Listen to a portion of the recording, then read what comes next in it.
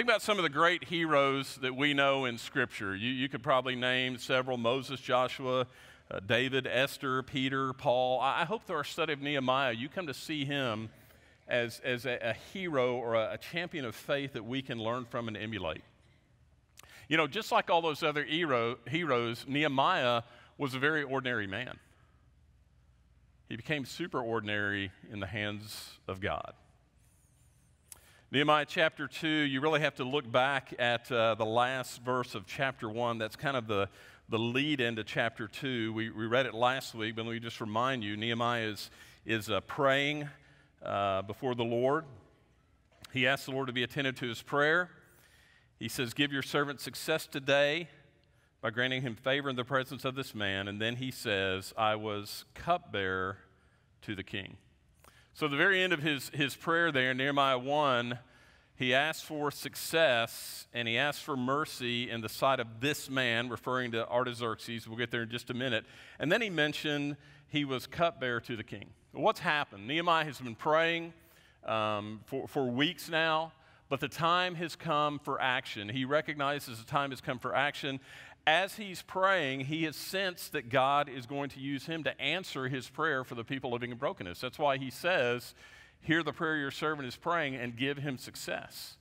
Even as he prays for that need, he recognizes that God is likely going to meet that need through him. You know, there are many times that we will pray for a need we see in a person's life, or we'll pray, let's say, specifically for a person's salvation. But it dawn on us, as God has given us that burden to pray, that He's also calling us to step in and to do something. Nehemiah senses that it's, it's time for action. And the last phrase he mentions there, it, it's almost like he says, Oh, by the way, I was cupbearer to the king. Now, why does he mention that? Why is that important? There are several things. Nehemiah served the king of Persia. He's in the capital city of Susa, in, the palace there, serving the king of Persia. As a servant, Nehemiah doesn't have the freedom to just come and go. He can't just decide, well, I'm going to go on down to Jerusalem and see what's going on and see what I can do to help, because his role was to serve the king. It was not about Nehemiah's wants and desires, it was about the king uh, that he was serving. So for God to use Nehemiah to help the people in Jerusalem, to rebuild the brokenness, to help restore the people, for God to use Nehemiah, something is going to have to change. God is going to have to intervene in some way in Nehemiah's life. Now, notice also, I just read this, Nehemiah refers to the king as this man. Let me assure you, he would never, to the face of the king, address the king as, as this man. Certainly not.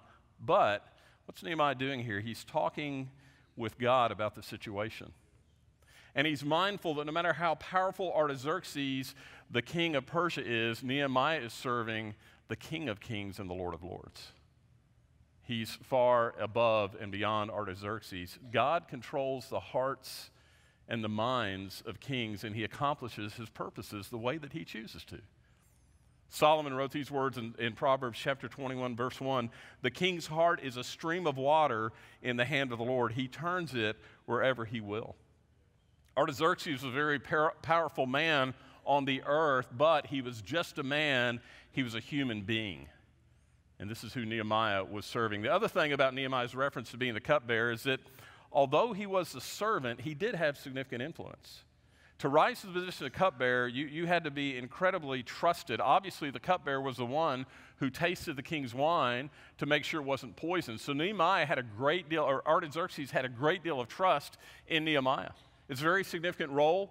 Um, he, was, he had the confidence of the king, and he also, as cupbearer, he could be assigned other responsibilities. It wasn't uncommon for the cupbearer to take care of some of the financial accounts of the kingdom as well. So Nehemiah's in a very significant role. He has the, the confidence of the king.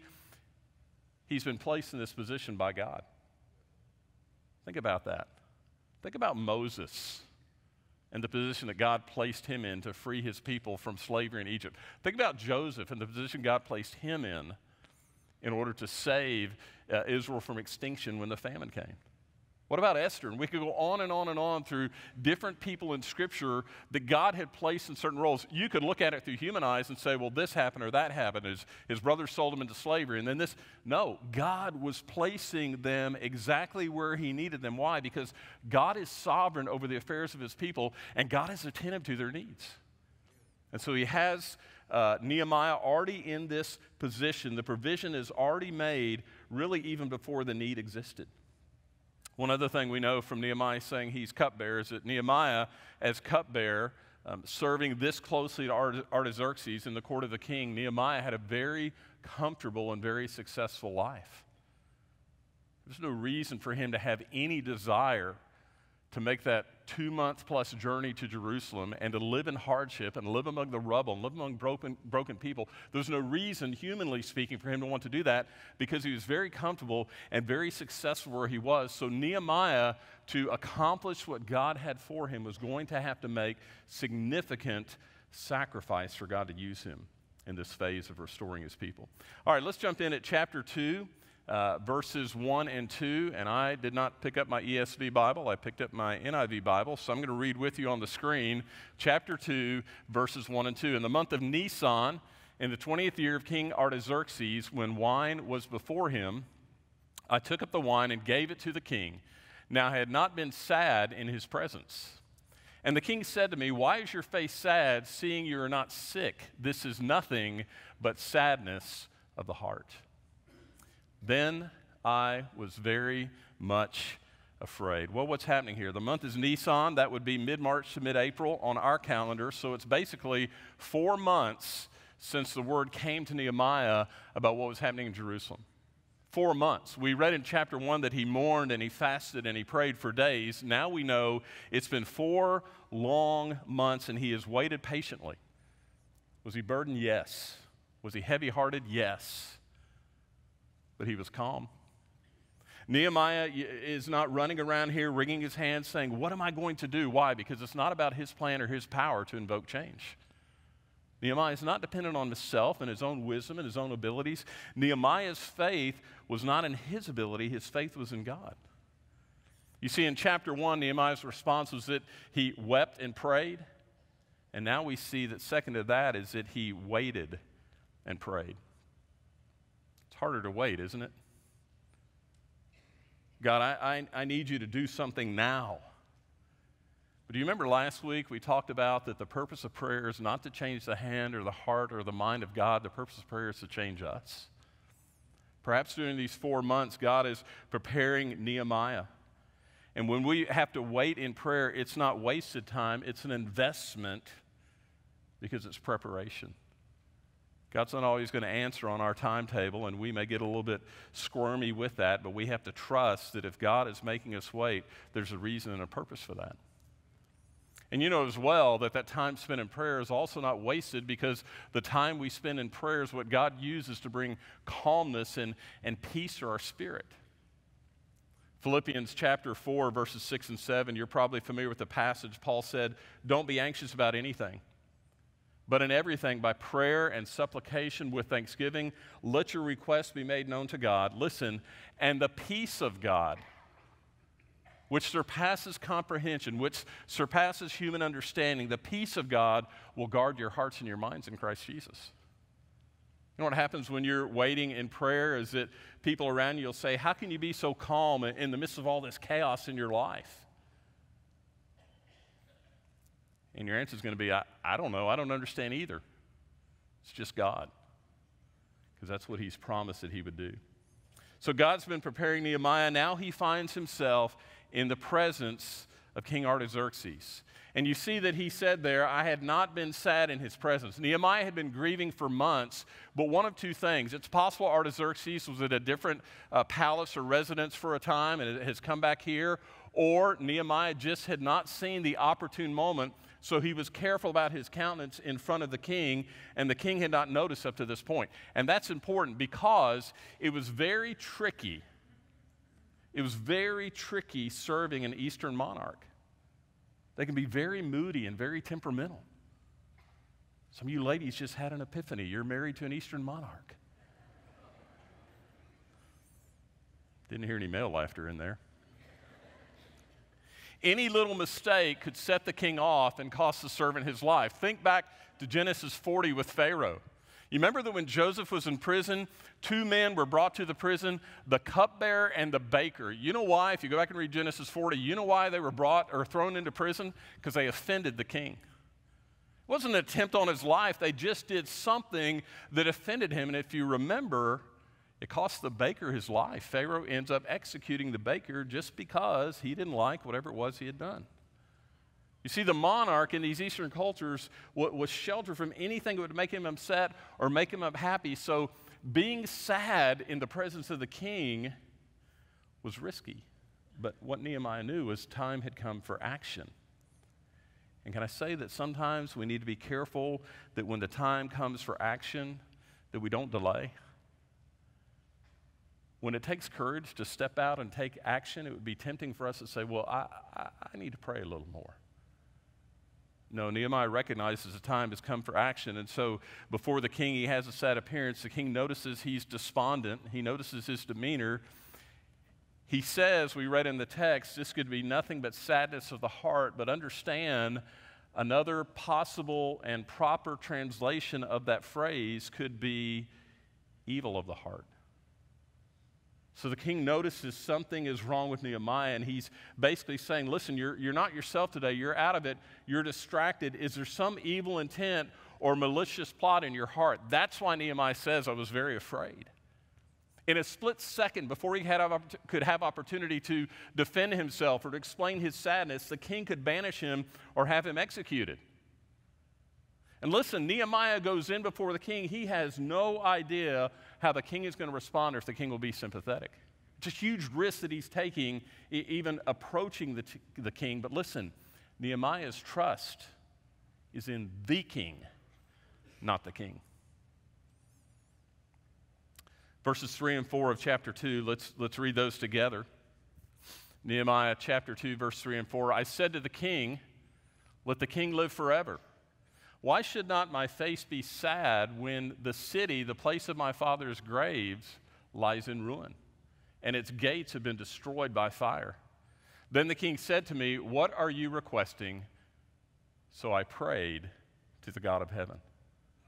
Well, Nehemiah gets his first indication that the king is going to be receptive to him. His answer is very wise. You notice that Nehemiah didn't mention Jerusalem. For Nehemiah to go to the king and say that he was wanting to rebuild the walls of Jerusalem to make it more secure would concern the king because doing that would make it easier for the people to rebel, make it easier for the people of Jerusalem to set up their own government against the king. So he doesn't mention Jerusalem, he doesn't mention security, he just mentions the place of my father's graves lies in ruins. It's very wise on Nehemiah's part because Nehemiah knew that these Near Eastern kings were known to have interest in preserving ancestral graves. And so in verse 4, Nehemiah gets the first indication he's going to find favor with Nehemiah. He's given the opportunity to make request. Excuse me. And what is the first thing he does when he's given opportunity? The king says, What is it you want? What does Nehemiah do? He prays. Now, this is not like his prayer in chapter 1. This is a very quick emergency prayer. He doesn't even stop, doesn't miss a beat, doesn't bow his head, doesn't close his eyes. He offers up a quick prayer to the Lord that his answer would be wise. But that quick emergency prayer has been backed up by months of intensive praying. And so he responds to the king. And when you think about his response to the king and then the request he's about to make, you recognize that when we're serving the King, He gives us the words we need to say. Nehemiah didn't have this wisdom in and of himself.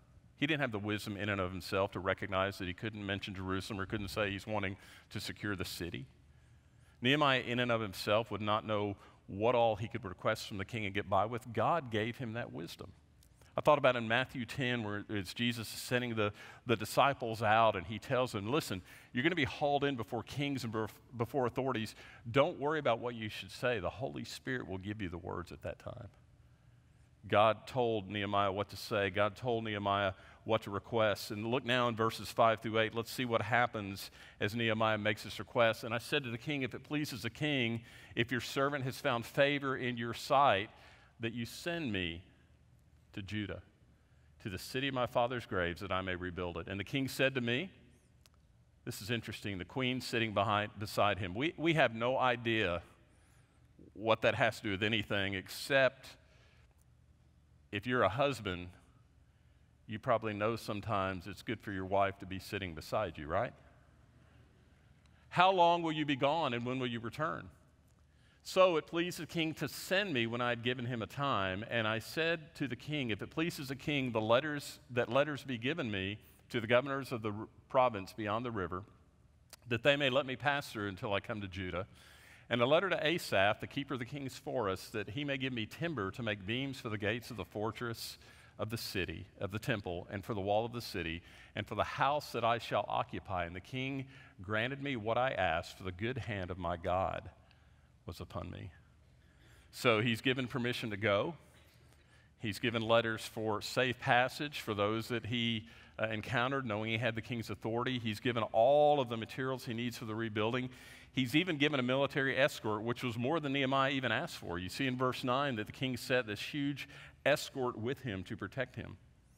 And let me tell you something even more amazing about Artaxerxes fulfilling all that Nehemiah requested. If you go to Esther chapter 4, the, the, the first, excuse me, Ezra chapter 4, the first remnant that had returned with Ezra, there are already people in the land. That's how the word came back to Nehemiah. That first remnant that had returned had actually begun rebuilding the walls of the city. But some of those enemies of the people of Jerusalem sent word to Artaxerxes. They said, Do you know what these people are doing? Do you recognize if they rebuild the walls of the city, they'll probably rebel against you and they'll probably stop paying taxes? And as a result, Artaxerxes sent a decree out, and Artaxerxes is the one who stopped the building of the walls. And now, who knows if he even realizes it, he's rescinding his own decree. What does that tell us? That tells us the most powerful king in the Near East is subject to our God. The most powerful king in the Near East is subject to the power of God. God changes the course of, of, affairs that this king has set in motion. Why? Because this king is subject to the king. He's just a man, he's just a human. God is sovereign, and God's plans and God's ways are not going to be thwarted. Now, that does not mean when we're accomplishing God's plan and doing things God's ways, it doesn't mean that there won't be opposition. If you look in verse 10, you see there are two men, Sanballat and Tobiah. These two men are going to be a thorn in Nehemiah's side throughout this entire process of rebuilding the city. Sanballat was the governor of Samaria to the north of Jerusalem. Tobiah was some type of official under, under Sanballat. And Nehemiah shows up He's got these letters, he's got the authority of the king behind him, and so they become concerned about his interruption of what they're doing or maybe his disruption of the influence that they have. In verses 12 through 16, you see Nehemiah has arrived. It's taken about two months. Verse 12 through 16, he investigates the city, the walls. He went out at night. Why did Nehemiah go out at night? Well, Tobiah and his son have connections to the people in Jerusalem, the people of Judah, because they're both uh, married to Judean women. Nehemiah was concerned that if word got out about what he was doing, that Tobiah and Sanballat would get word of his plans. They'd have opportunity to plot, they'd have opportunity to disrupt, to discourage the people living in Jerusalem before Nehemiah can even garner their support. So he goes out at night, he gets the lay of the land, he, he sees the problem, he sees the potential, and then he calls the people together. Look in verses 17 and 18 of Nehemiah chapter 2. Then I said to them, You see the trouble we're in. How Jerusalem has lies in ruins, its gates burned. Come, let us build the wall of Jerusalem that we may no longer suffer derision. And I told them of the hand of my God that had been upon me for the good, and also the words that the king had spoken to me. And they said, Let us rise up and build. So they strengthened their hands for the good work.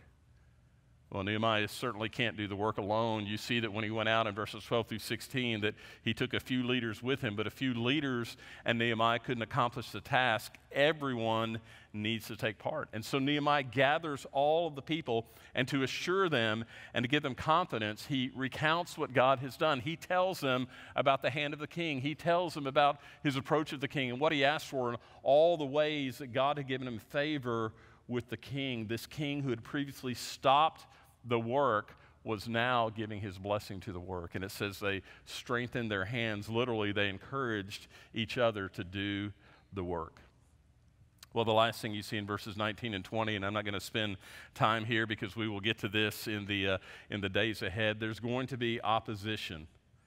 And from Sanballat and Tobiah, you see opposition, you see derision and making fun of the people. You'll never get this done. What do you think you're doing? Rebelling against the king. And you see Nehemiah's simple response listen, this is God's work. We will prosper.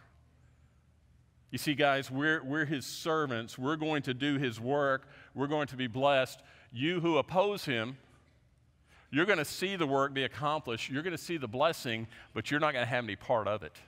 You're going to be on the outside looking in. And next week, we'll see where they begin the actual work, the process of, of rebuilding those walls. But before we wrap up this morning, there are many applications we could draw from chapter 2. Let me mention just four things that we need to be reminded of in this section of the story of Nehemiah. The first one is this God places us in positions of influence, not just leaders. Not just heads of organizations, not just governors. God places all of us in positions of influence within your family, within your neighborhood, within your workplace, within your school, wherever you are, God has you there to be an influence. But like Nehemiah, you're probably going to find to truly be an influence, to truly change things, to truly bring God into the picture, you're going to have to get out of your comfort zone.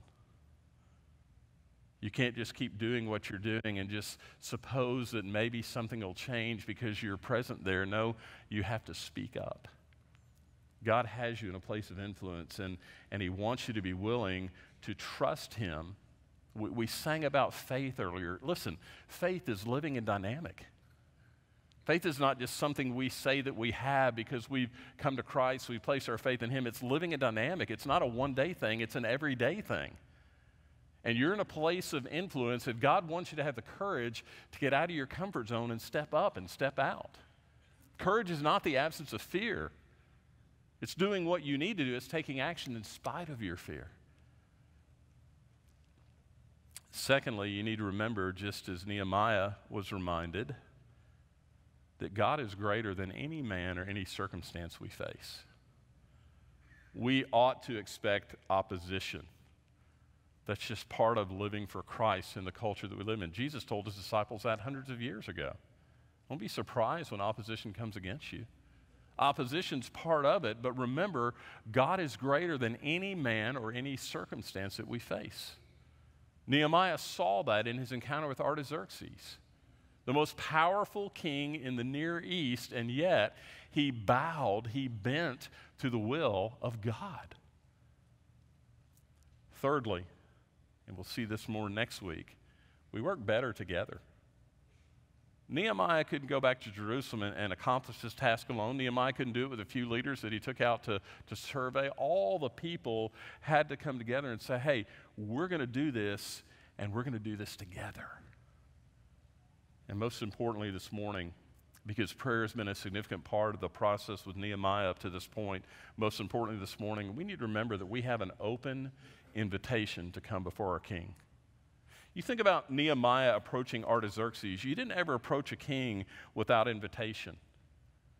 You didn't ever approach a king because you never knew what kind of mood the king might be in and the risks that you would take to approach the king. You didn't ever approach the king and talk about your problems and, and your feelings. It's a wonder that Artaxerxes even mentioned the sadness on his face, except that he was concerned there might be something evil in his heart. Kings weren't interested in that. You were there to serve them, they, they weren't there to serve you. What about our King? Hebrews chapter 4, verse 16. Let us approach the throne of grace with confidence. Let us approach the throne of grace, that's our King, his throne, with confidence so that we may receive mercy and find grace to help us in our time of need. What a difference our heavenly King is compared to earthly kings.